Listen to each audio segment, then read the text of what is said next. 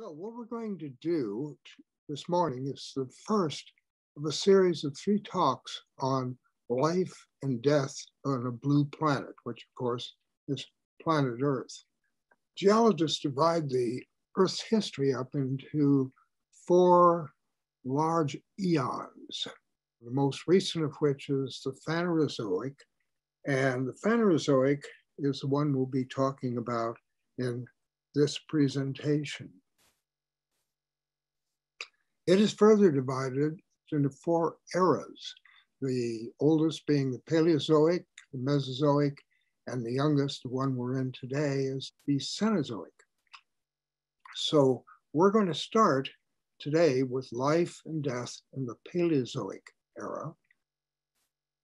And then next week, we'll pick it up with life in the Mesozoic era and then finish in three weeks with life and death in the Cenozoic. So we start with life and death in the Paleozoic, the oldest of those three periods. And what we're going to be doing is sort of setting the stage. We'll look at the fuses that lead to an explosion of diversity, the greening of the planet, the conquering of the land by the animals, and then death on an unprecedented scale. And so we start with setting the stage. And it starts basically 4.6, 4.7 billion years ago when a newly formed star, which is our sun, was encased in a great cloud of debris. And that debris, the larger chunks by gravitational pull, attracted the smaller chunks. And eventually, they coalesced into a planet. And about 4.6 billion years ago, planet Earth took its origin. The first eon of Earth's history is called a Hadean, and it was rather hellish time. It was hot bombardment, kind of full time by meteors and asteroids. It was not a pleasant time to be on the planet. Nothing could have lived here at that time. But toward the end of the Hadean and extending on into the next eon, the Archean, the rains came and puddles became ponds and ponds became lakes and lakes became seas. And finally, we have about 3.7 billion years ago, the ocean. And in these waters, complex organic cells begin to form and some of these were able to replicate themselves. And when that happened, life had arrived on planet Earth. The oldest fossils we have are called stromatolites, and they're kind of wrinkly features in limestone. And for many years, geologists didn't know what they were until the 1950s, when very similar structures were found in a bay on the north side of Australia and it was determined that they were created by blue green algae or cyanobacteria. They created these structures and did a lot of other things as well. You could see them today, they're still around in great abundance because they're the chloroplasts in plants and the leaves and green that you see in the, in the plants. But back then they were in the water and some of them forming these algal mounds that occurred on the surface. Now, the cyanobacteria don't require oxygen for their growth, but they do produce it as a byproduct of photosynthesis. So, all the time that they were growing and developing and creating stromatolites, they were producing oxygen that was first added to the ocean and then ultimately to the atmosphere. And that was pretty much devastating to almost all the other organisms that lived on the planet at that time because they were anaerobic. They couldn't exist in the presence of oxygen. And so that led to the first global extinction, fairly lengthy one that occurred around two and a half to 2.2 billion years ago. And at the same time, we had the first widespread ice on the Earth's surface. And it's not real clear what the connection was, if any, between the changing atmosphere, uh, the increased oxygen in the atmosphere, and the change in the climate.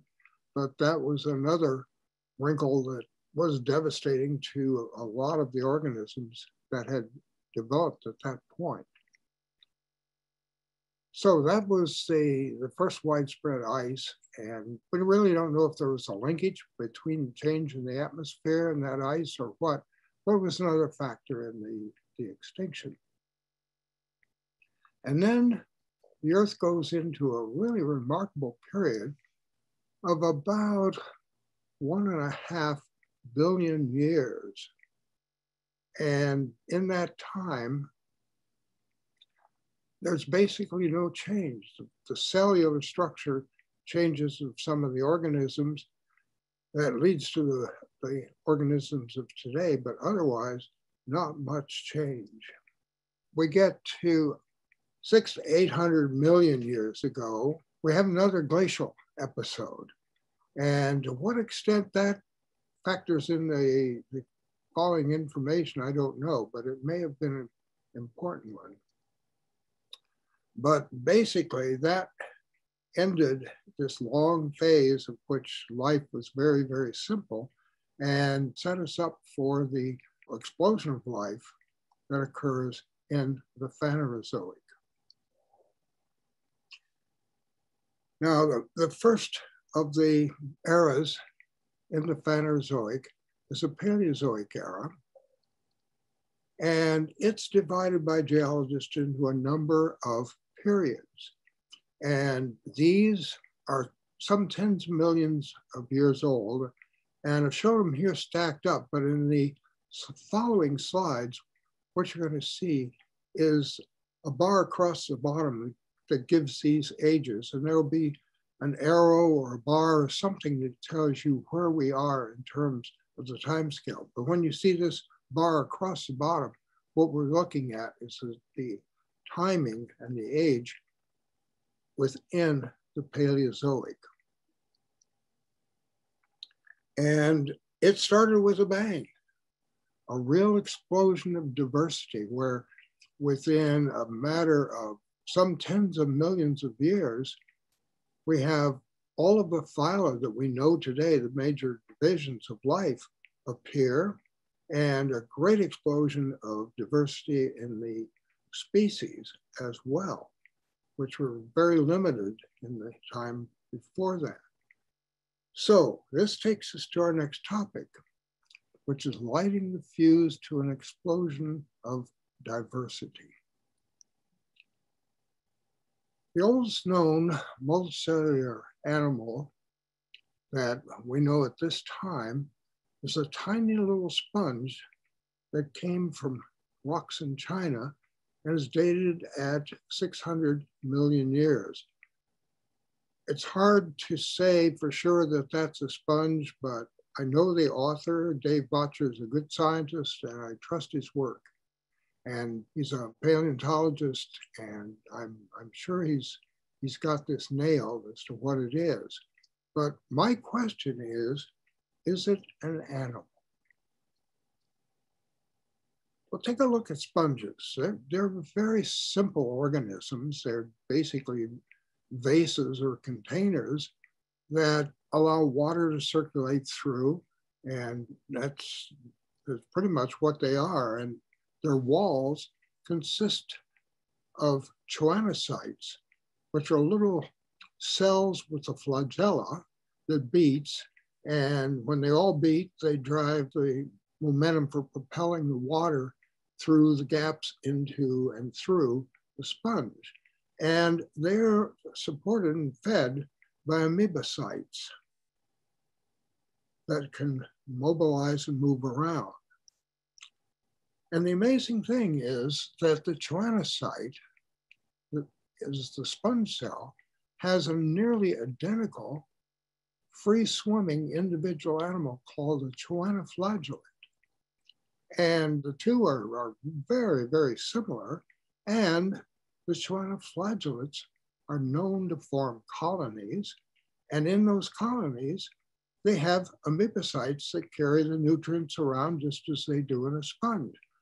And as far as I could tell, the only difference between a choanoflagellate colony and a sponge is the degree of organization. You can take a sponge, put in a blender, run it through cheesecloth, and within a matter of hours, it starts to reconstitute itself. This is not something that an individual animal does, but it is something that can be done by a colony. So the question is, when we look at a fossil sponge, are we seeing an animal or are we seeing a colony of animals? And why this is important is the next phase of the fossils that were found in a period of time right before the Paleozoic begins. It's called the Ediacaran period. It gets its name from the Ediacaran Hills of Australia, where some years ago, geologists, and paleontologists found remarkable imprints in the sediment. They never found any parts of the, these organisms. Nothing was preserved except the imprint. And it turns out that they are present all over the world in rocks of that age. And so the question is, were these individual organisms or were these colonies of organisms? One of them looks remarkably like a modern sea pen, which is today a colonial organism. Another one looks quite similar to an extant colony of hydroids. So what are these things and, and were they colonies? Were they animals? One thing we know is they were immobile because there are no tracks or trails in the Ediacaran rocks or rocks of that age that go along with these strange fossils, fossil imprints. Until we get right to the very end, about 555 million years ago, and then we start seeing small traces in the sediment. So it looks like the transition from the Ediacaran period to the Paleozoic era is marked by a change that allows for mobility. Prior to about 555, 560 million years, something like that, we only had drifting organisms. But after that, we have organisms that can move. This is a Krebs cycle. I'm not going to try to explain it because I don't understand it at all, but it is a fundamental part of life. And what I do know is that oxygen is not part of it, but oxygen is required to convert the products of the Krebs cycle into energy, into growth or to movement. And estimates of oxygen that have been made all show an increase around this particular period of time. The amount differs and was far less than the oxygen levels that we have today, but it may well be that what happened was that the oxygen level in the seas increased to a point that allowed for mobility. And with mobility came predation.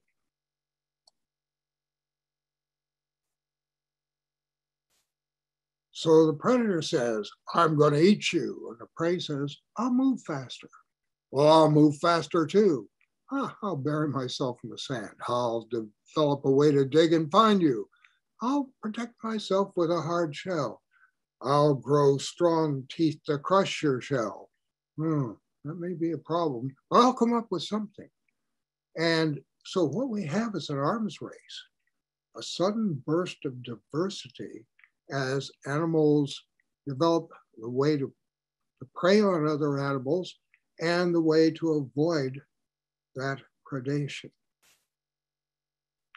And I think that probably accounts for this explosion of diversity that we see throughout the, the Cambrian period. Much of this information comes from a rock that's exposed in the Canadian Rockies called the Burgess Shale. And the Burgess is known for the exquisitely preserved fossils that are included. And these are really some pretty strange fossils like hallucigenia, which gets its name, I'm sure, from how it looks.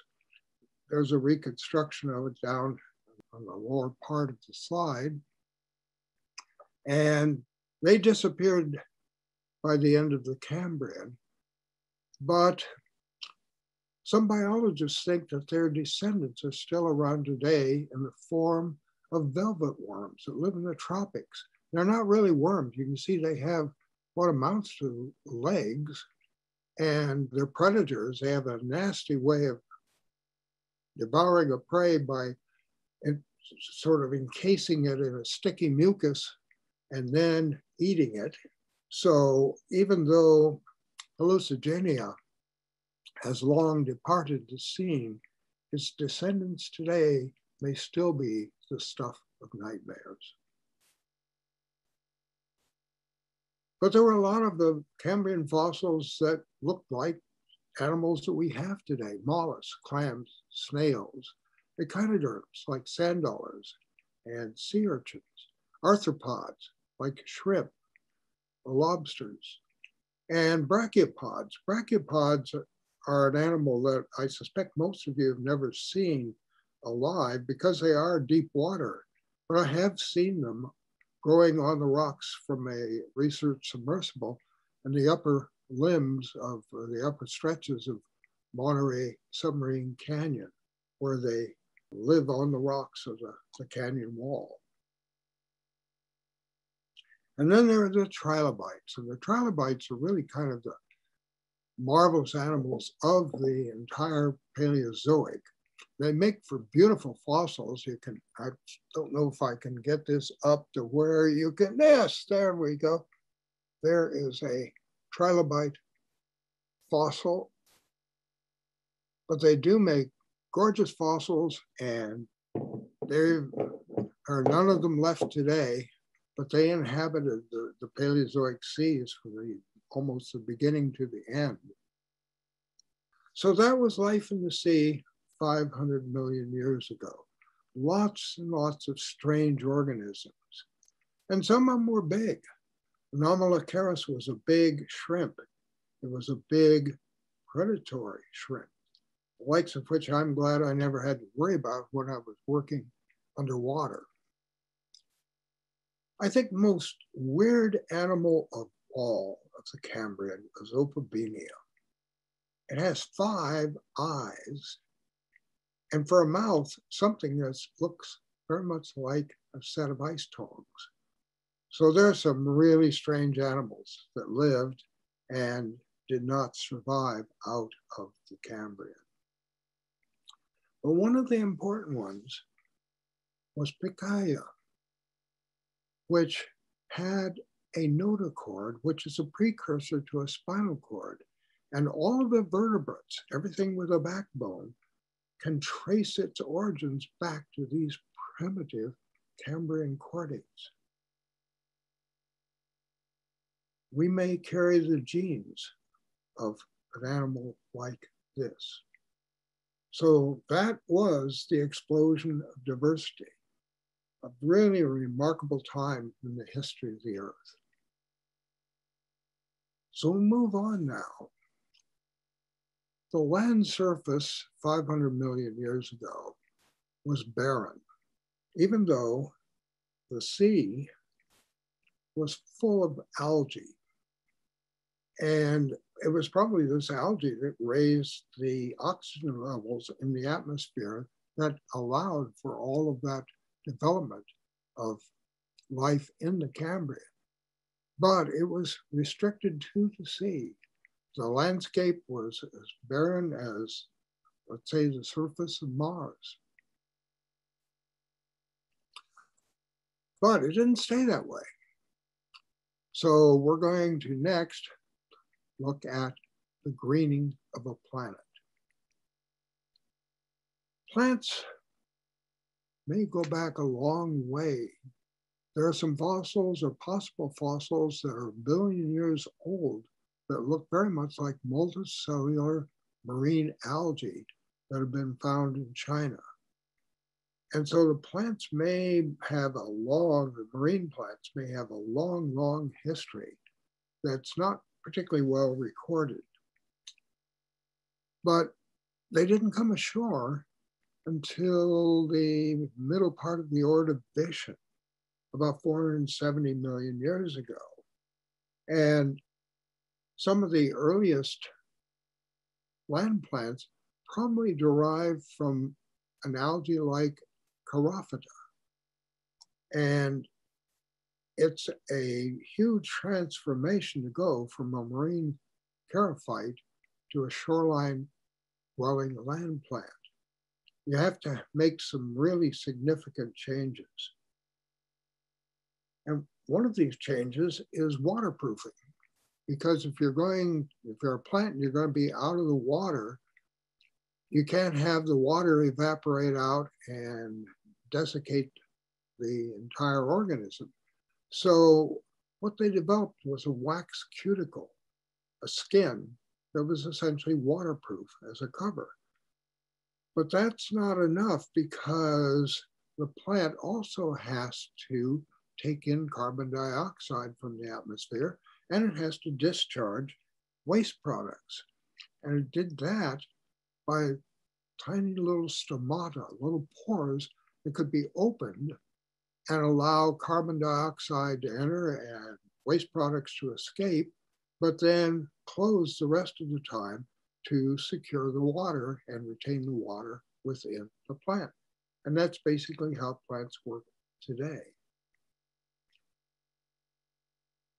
Some of the earliest plants probably look like this liverwort, a, modern day primitive plant. And the Ordovician shoreline may have looked something like this.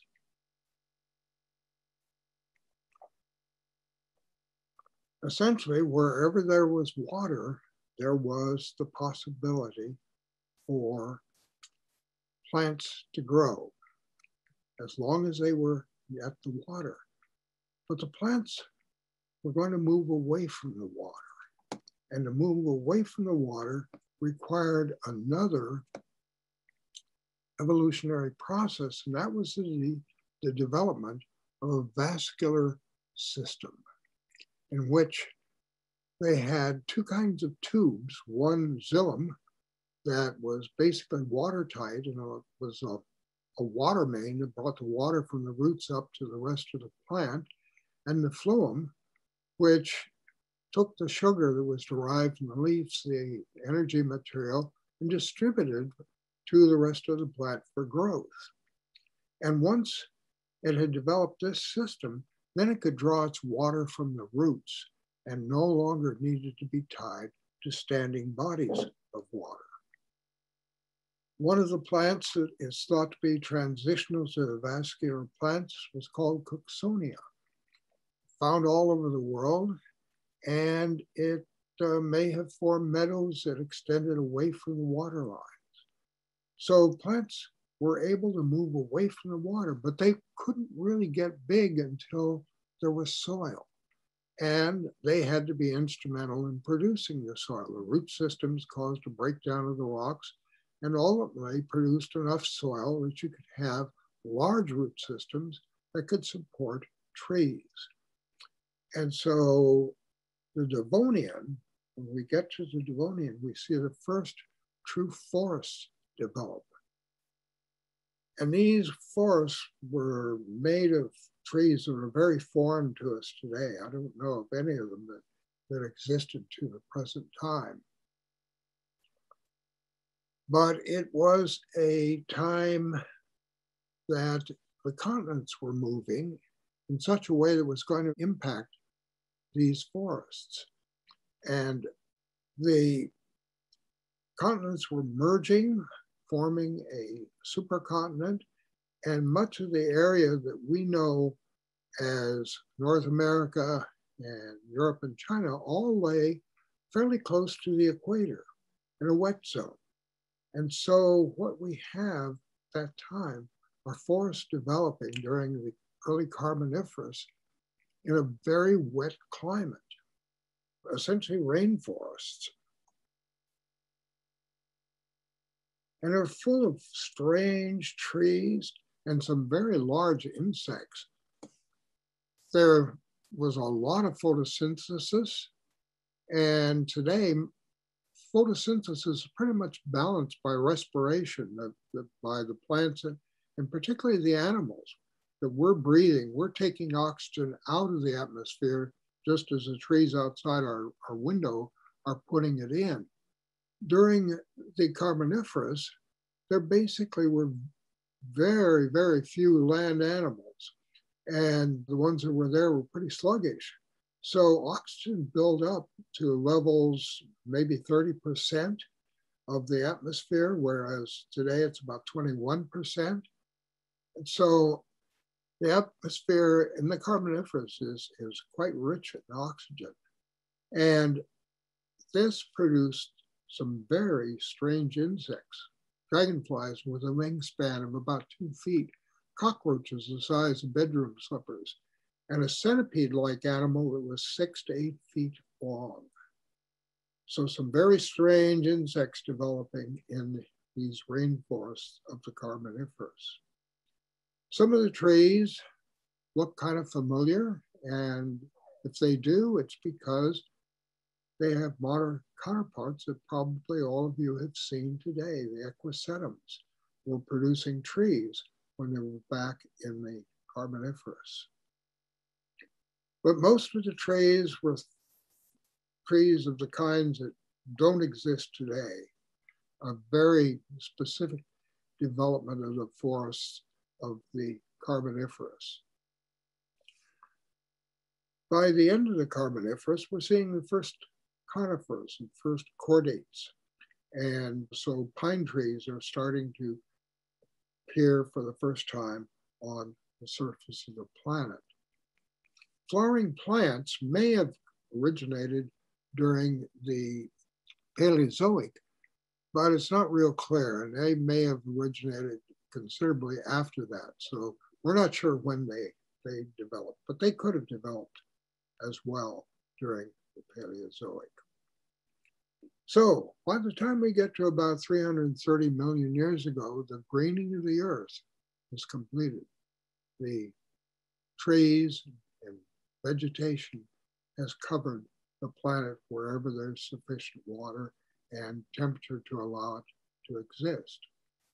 So we're moving on to our next topic, which is conquering the land.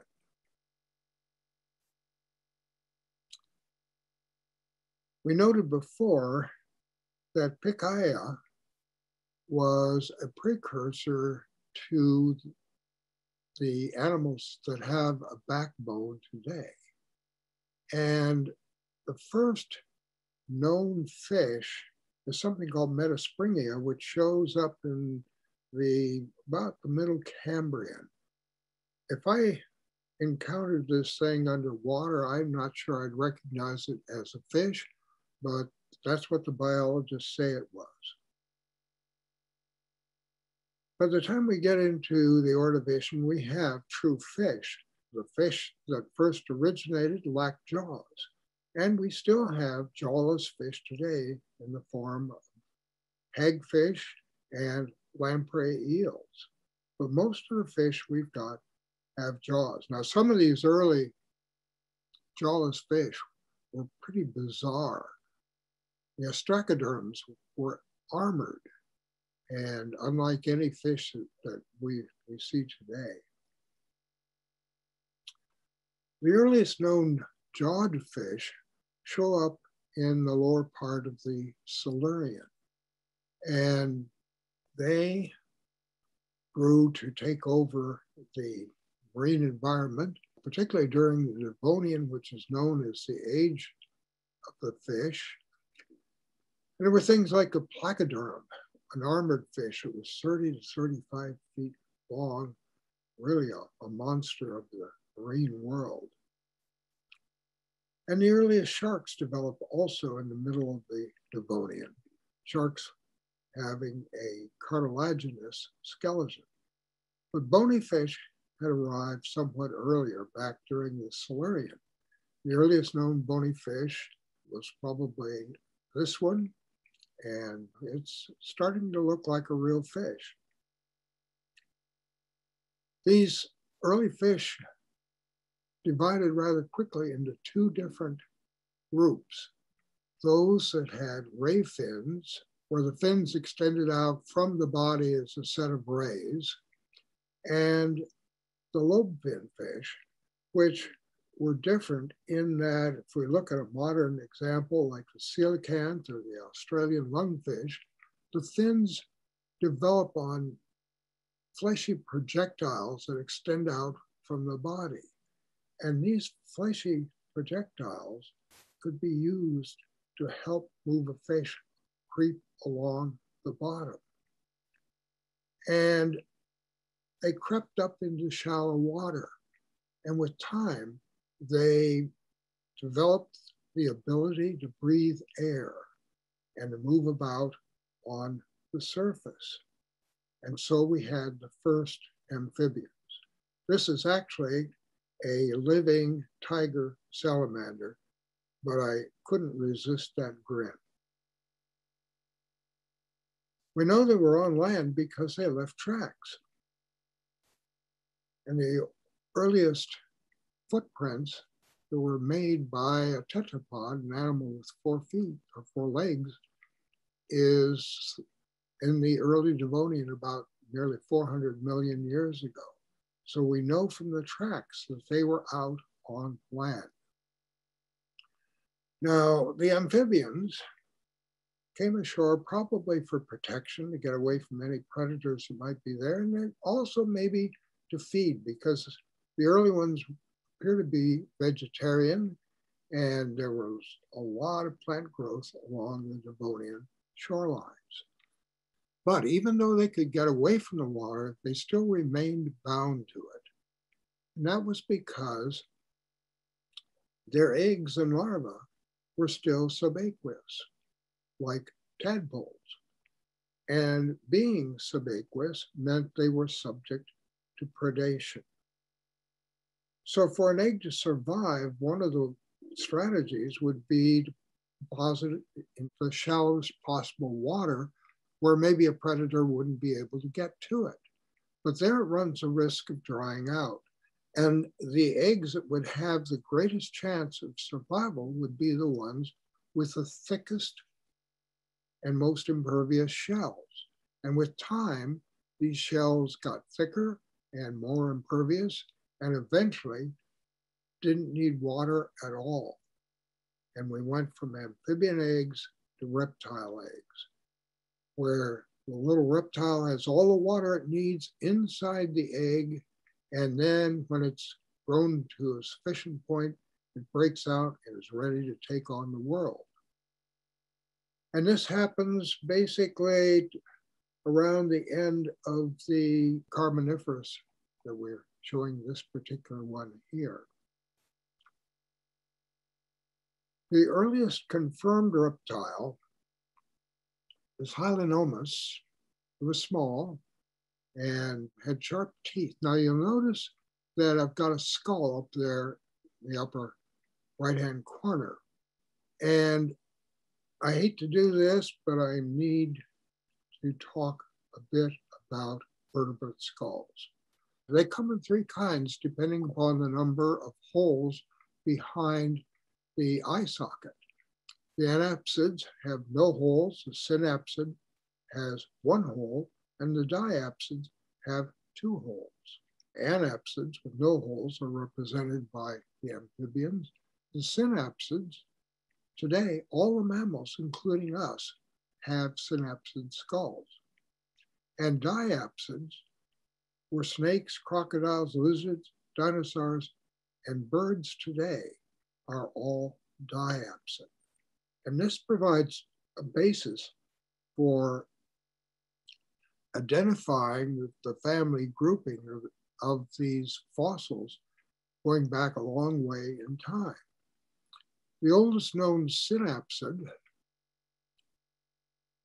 shows up in the middle to late part of the Carboniferous. This is an animal that's not too prepossessing, but it or something like it is something we can trace our own ancestry back to.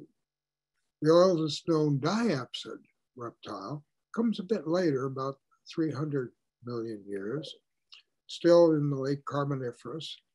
And that was the origin of the reptiles. And it couldn't have come at a better time because in the late Carboniferous, there was a collapse of the rainforest. There was glaciation in the southern hemisphere, sea level fell, the climate changed, and the amphibians, for the most part, didn't survive this. But the reptiles, well, they were no longer bound to the water, so they could move about. And as we go into the Permian, we reach the age of the synapsid reptiles. If you ever had a bag of plastic dinosaurs or, around a child who had a bag of plastic dinosaurs, you probably saw the sail-backed lizard named Dimetrodon, and it's not a dinosaur. It's not even related to the dinosaurs. It's more related to us because it is a synapsid reptile. And these synapsid reptiles dominated the whole Permian period. The sailback lizards didn't make it to the end. For some reason, there is a gap in the sedimentary record called Olson's Gap, and pelycosaurs don't extend beyond that. But their relatives, the therapsids, which are also synapsid in their skulls, do survive. And these are some really strange animals. Probably furry, they almost look like mammals, but they're still reptiles. They still lay eggs. They don't suckle their young. There were some pretty nasty predators that lived at that time. Uh, some of them were quite large. Some of them were pretty strange, and some of them were very strange. But they essentially took over the last part of the Permian. One of the ones that occurred near the end of the, the Permian was a little animal called a cynodont, which means dog tooth. And you'll notice there's sort of a fang that extends down from the mouth, which is where it gets its name.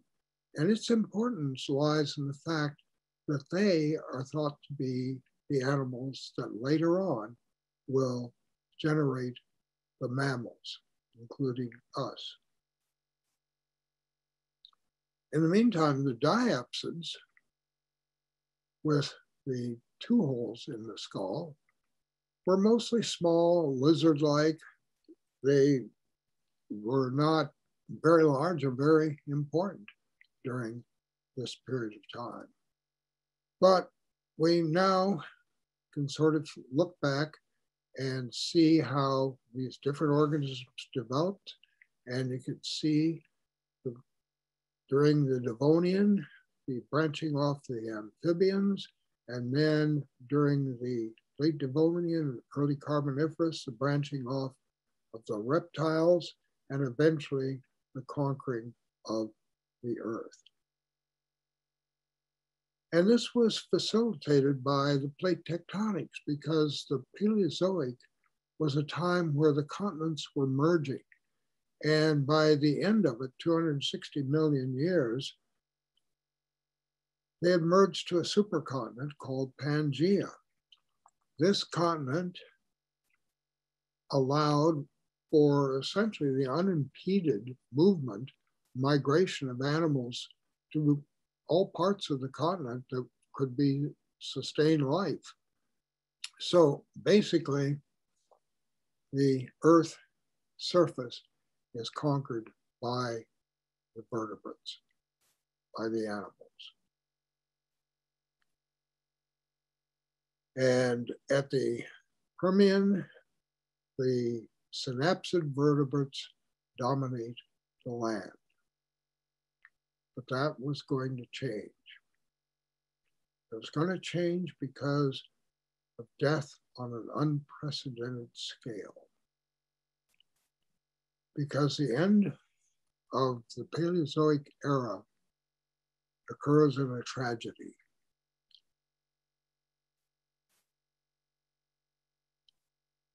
There have been a number of extinctions in the Earth's history. We'll talk more about this in the subsequent lectures. But you'll notice this one in the middle at the marking the boundary between T and P with a big triangle.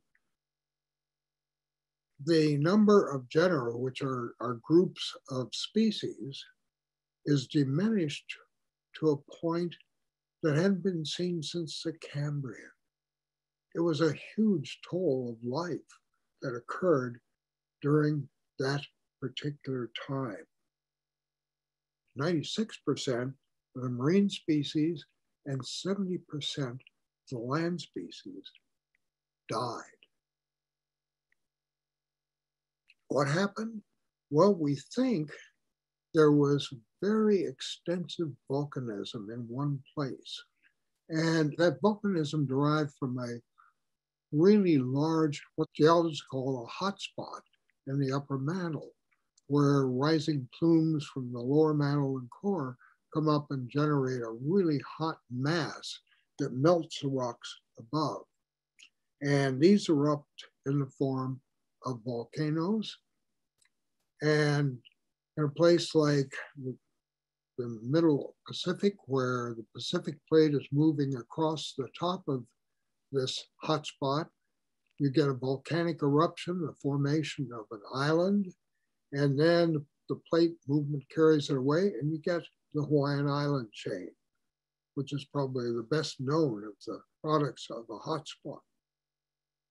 But the hotspot that occurred 250 million years ago was in what today is Siberia.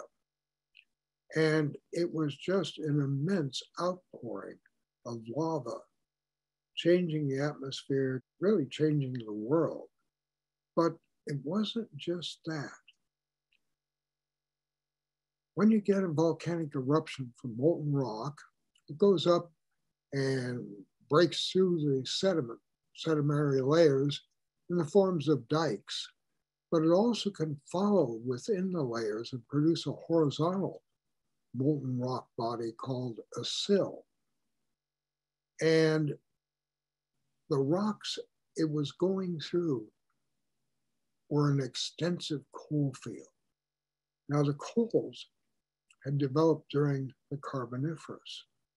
It's known as the Age of Coal, and we had those extensive forests. And the Carboniferous the organisms that decompose wood, like fungi and certain kinds of bacteria, had not yet come on the scene. So all of that carbon from the trees was incorporated into the sediment. And there, once it was in the sediment, under sufficient heat and pressure, it was turned to coal. And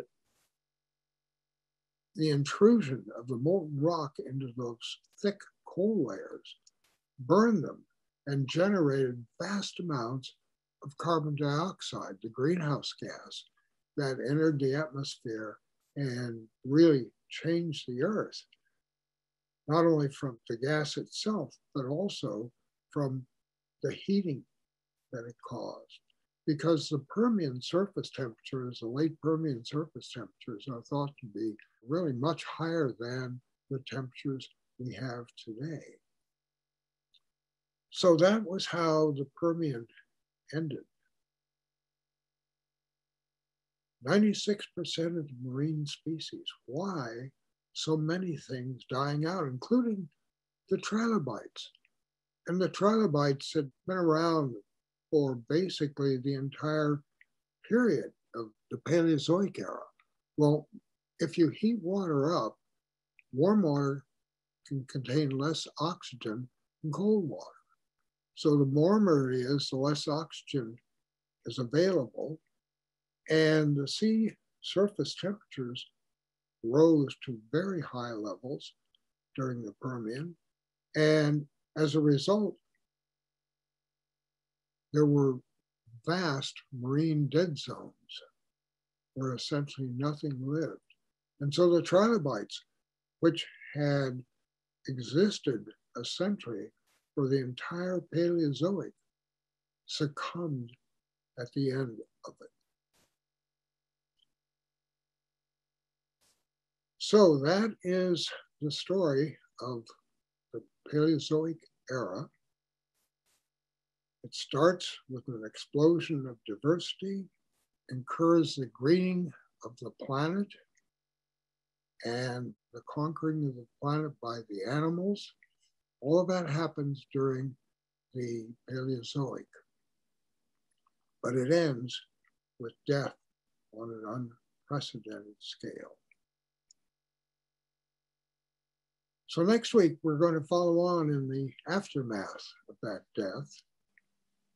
And we'll look at life and death in the Mesozoic era. So that finishes the Paleozoic.